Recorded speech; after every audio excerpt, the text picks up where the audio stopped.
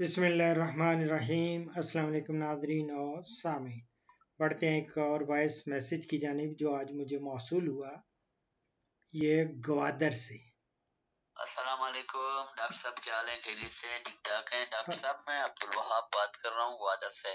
जी बिस्मिल्लाह। Doctor साहब मुझे ये पोल्ट्री फार्म में जो मुर्गियाँ हैं, उनके बारे में कुछ मालूम लेने थे। उसमें आपको, इसके बारे में आप एक्सपीरियंस रखते हैं? नहीं, ये हवाले से मैंने आपसे कभी नहीं पूछा।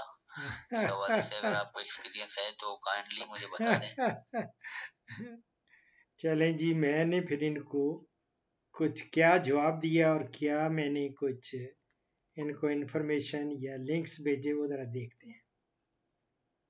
क्योंकि इन्होंने पहली दफ़ा अब्दुल वहाब जी आप का बड़ा इंटरेस्टिंग सवाल मुझे लगा है कि क्या मैं मुर्गियों के बारे में भी कुछ रखता हूँ या नहीं को नॉलेज तो मैं थोड़ी सी चूँकि मैं तो तालब इलम हूँ मैं तो सीख रहा हूँ ये सारी चीज़ें।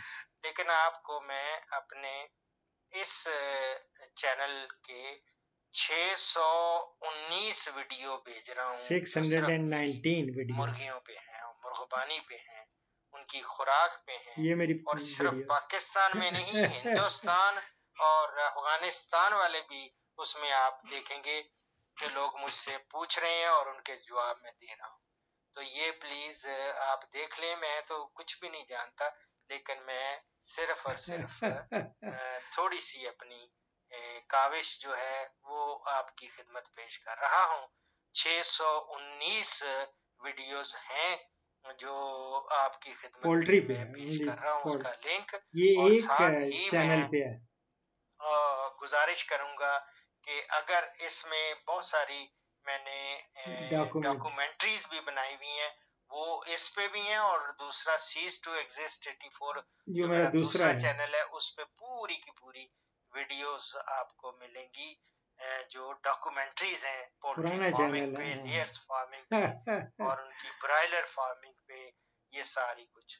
मैं तो एक अदना सा खादम हूँ आपका और कोशिश कर रहा हूँ और मैं अभी तालब इलम हूँ सीख रहा हूँ और दुआया फरमाए अल्लाह ताला ये इल्म बांटने की तौफीक अता फरमाए और इसको बढ़ाने की तौफीक अता फरमाए। और आप समझें अगर कि ये 619 कम है और आपको कोई और, और चाहिए तो मैं हाजिर हूँ। तो मेरी जान में हाजिर ठीक है? पूरे ग्वादर को सलाम। अल्लाह ताला आपको अपने अस्सलाम वालेकुम। सर जी आपका बहुत बहुत मेहरबानी नवाजिश। अल्लाह पाक आपको सेहत दे ज़िंदगी दे उम्र दे। अल्लाह पाक आपको खुश रखे।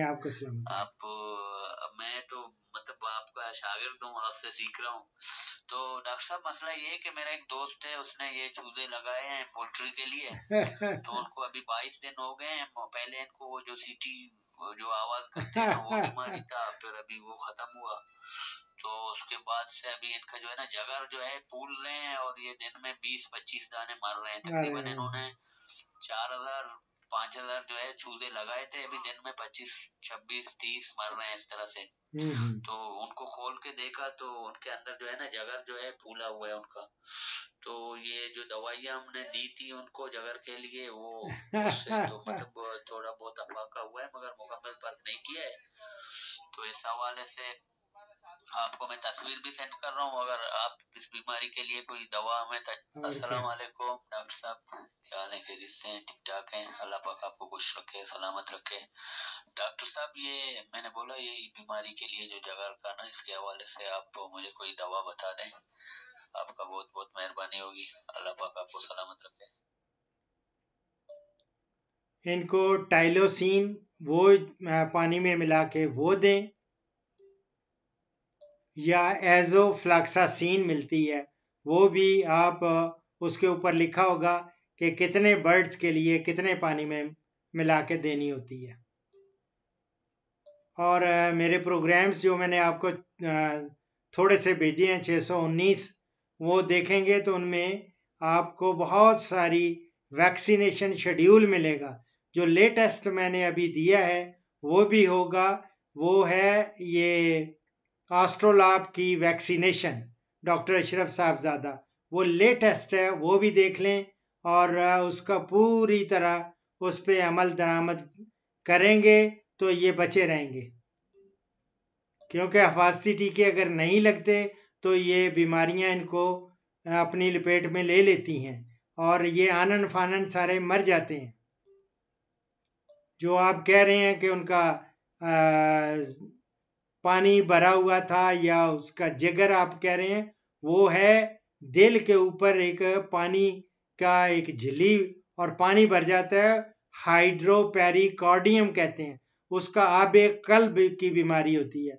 उसका भी इलाज वो मैंने दे रखा है। उसमें वैक्सीनेशन का शेड्यूल में आपको वो भी मिलेगा। तो मेरी जान, ये इन पे अमल करें और आप भाई और जो दोस्त हैं, उनके साथ शेयर करें। ये जो मैंने आपको भेजे हैं, ये इसलिए नहीं भेजे कि आपको बस ये बताना मकसूद था कि मैंने इतनी खिदमत की है। सिर्फ़ ये है, इसका मतलब ये है कि आप इनको खोल के देखें। इनमें से बहुत सारे आपको फ़ायदे वाली चीज़ें और मिलेंगी। उन पे अमल करेंगे। इनकी खुराक बनाने के तरीके, सस्ती खुराक कैसे बनानी है, वो भी मैंने पूरे फार्मूले दे रखे हैं। उन पे अमल करें। जब हिंदुस्तान वाले लोग कर सकते हैं तो ग्वादर वाले क्यों नहीं कर सकते मेरी जान?